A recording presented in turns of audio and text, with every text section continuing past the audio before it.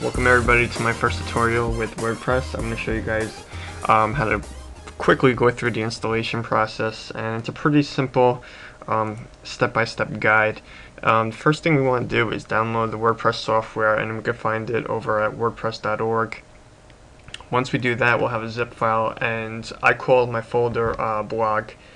Um, you can call whatever you want and when we go into the folder we're going to have a WP config sample file here and we're going to rename it to just WP config. So get rid of the hyphen and the sample and we're going to open that up. Once we have the WP config file open, we're going to um, we'll get the coding here. Now, the first thing you need to do when uh, looking at the WP config file is take notice of uh, the entries over here database name, database user, and database password. What you need to do first is go to your hosting company. Um, I use GoDaddy and they have a tool uh, that allows you to create a MySQL database and you need to create a database to hold the blog. So um, I think One and One is another company that offers a tool. A lot of these companies are offering a simple tool so you can just create the database and it's pretty easy. So what you'll need is you'll create the database and give it a name you'll uh, set yourself up as a user and create a password for yourself. Once you have all three of those uh, pieces of information, you'll take that and you'll enter it in the WP config file. Uh, next we have the DB host, that's a database host. Um, when you create your uh, database, take note of the uh, database host. If you have a problem finding it, just contact your hosting company and they'll tell you uh, what that is.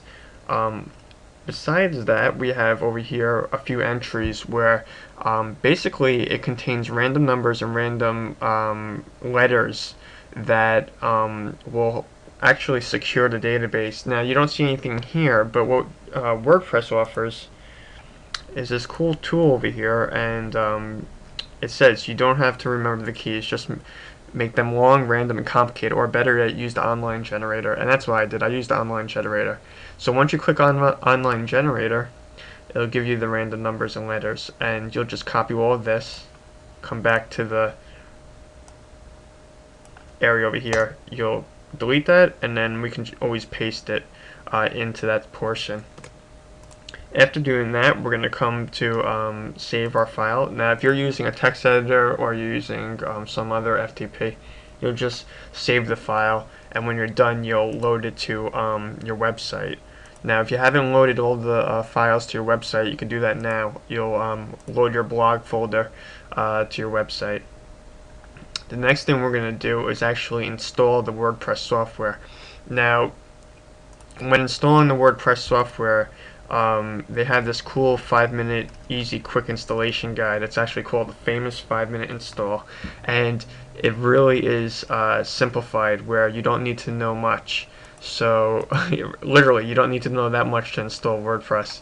Um, you know, as long as you can carefully follow the guide step by step and, and you are somewhat familiar um, with web development, I guess.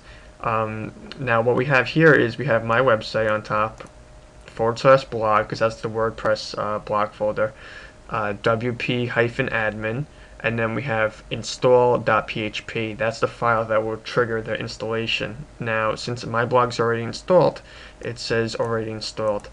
What you will see if you're just doing this for the first time is you'll see the software installing. If it doesn't install, that means there's something wrong. And I'll tell you if there's something wrong with the database, if there's something wrong with the username or password, whatever it is, um, it'll tell you. If that's the case, you'll just come back to your config file, wp config, and look into um, if the parameters or the credentials, I should say, are uh, matching. And after that, if your installation is successful, you'll be brought into WordPress uh, blog. And that's where I am now. This is the admin area, the dashboard, I would say. And there's not much more I can say about WordPress besides the fact that it's very simple to use and a lot of this stuff is self-explanatory. WordPress itself runs on plugins. It's like it's you have to think about like building blocks, like a stack, and the building blocks are the plugins in WordPress. So you'll start off with almost nothing, um, you know, because the, you know your blog is going to have nothing really installed in it as far as plugins goes. That being said, uh, you can go to WordPress.org and you can find so many plugins. It's unbelievable. There's tons of plugins there, And if I come back here into my blog folder, I'm going to go to WP content and I have a plugins folder and I also have a themes folder. The themes folder holds a CSS and I'm using a theme called iNove 1.4.5 and I'm sure there's upgraded versions since then but what I did was take the CSS file and modify it to my liking and the plugins the plugins were like a little test and run. I really had to, um, you know, get familiar with what I thought was working best with my blog, meaning what wasn't causing uh, too much slowdown and what was really, um, you know, making my blog the best it could be. So you really need to be careful on what kind of plugins you install. Once you um, download a plugin, like a zip file, all you have to do is extract the folder onto your desktop or whatever else you're going to extract it to take the folder, put it inside um, your blog folder, um, but put it in the WP Content plugins folder. So you'll find the plugins folder right in WP Content. Open the plugins folder and throw the plugin right in there. And once you do that, you'll put the folder to your um, server you'll come back to your blog and over here you'll have an option to activate it and that's where the plugins option here is and you'll see all your plugins. Very simple to do. Um, you know just be careful what you're installing. Um, I'll probably do another tutorial to show what exactly I've installed and why I've installed it.